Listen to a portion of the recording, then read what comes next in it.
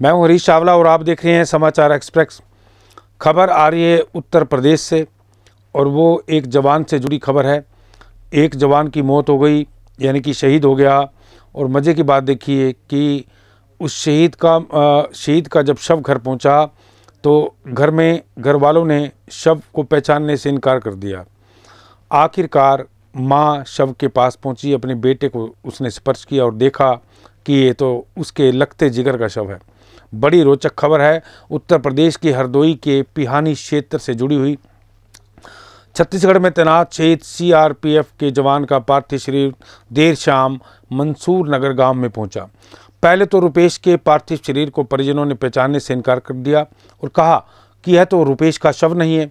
आधे घंटे की खींचतान के बाद शहीद जवान की माँ ने रुपेश के शव को आखिरकार पहचान लिया।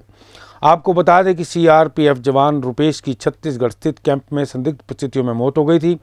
जवान रुपेश का शव मंगलवार देर शाम तक घर पहुँचा। ना तो उसकी मौत के कारणों का कोई स्पष्ट हो पा रहा है और ना ही यह उसकी मौत के किसी ठोस कारण की पुष्टि अभी तक आधिकारिक तौर पर हुई है। लेकिन एसडीएम शाहबाद अतुल श्रीवास्तव, क्षेत्र अधिकारी हरियावा श्रीराम कुशवाहा कोतवाल महेश चंद्र व सीआरपीएफ के जवानों ने जवान के पार्थिव शरीर को परिजनों के सुपुर्द कर दिया। सीआरपीएफ के जवान रुपेश की छत्तीसगढ़ स्थित कैंप में संदिग्ध परिस्थितियों में मौत हो गई थी। जवान रुपेश का शव मंगलवार देर शाम पैतृक घर पहुँचा, हालाँकि उसकी मौत के कारण अभी स्पष्ट नहीं हो पाए। लेकिन पोस्टमार्टम रिपोर्ट आने के बाद ही रुपेश की मौत का कारणों का सही पता चल सकेगा। रुपेश का पार्थिव शरीर गाँव पहुँचते ही कोराम मच गया। लोगों ने भारत माता की जय के उद्घोष के नारे लगाए। ग्रामीण गाँव के लाल शहीद होने पर गमजदा थे। हरदोई से संवाददाता शाहिद अली की यह report.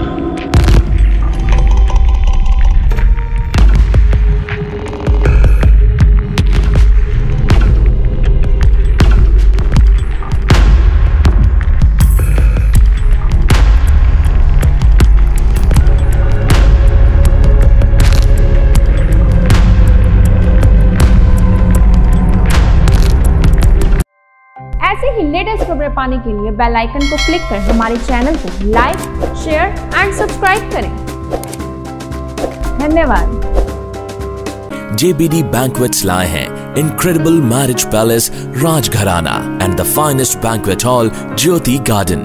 World-class catering, centrally air-conditioned, lush green lawns, state-of-the-art lighting. A perfect venue for wedding, launching and parties. Rajgharana and Jyoti Garden at JBD Banquets Enterprise.